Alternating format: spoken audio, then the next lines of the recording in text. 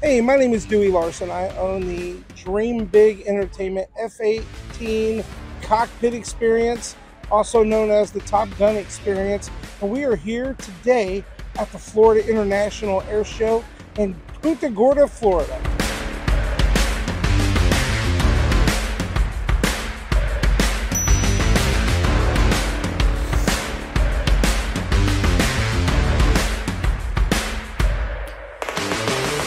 Uh, I started this.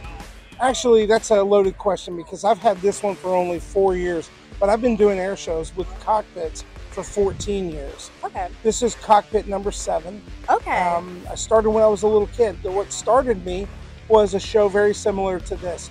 You go to these shows and they open up the cargo planes and the helicopters, but you're not going to touch the fighter jets. They, they rope them off, they close them off, they, they don't let people get inside. And I told my dad as an eight year old, I'm going to have my own someday and I'm going to let everybody in it. Mhm. So when the economy crashed several years ago, uh, my wife said, What are you going to do to take care of us? And I said, I'm going to get a fighter jet and I'm going to put it on a trailer. And that's how it was born.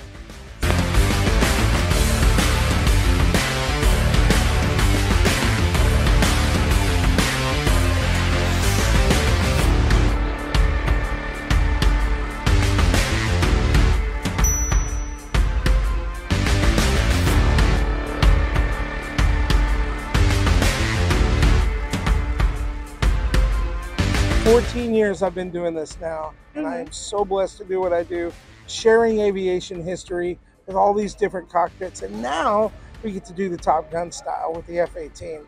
This cockpit is absolutely amazing, has a very distinct history. Um, she served in both the Marines and the Navy. She was a former Blue Angel. Mhm. She's a former Top Gun plane.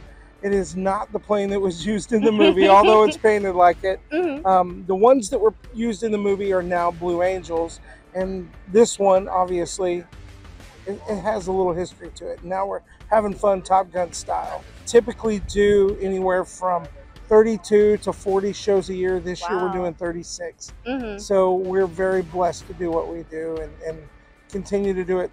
And like I said, full time job. So an air show season for us starts in the middle of February and it runs all the way till next week. So the middle of November.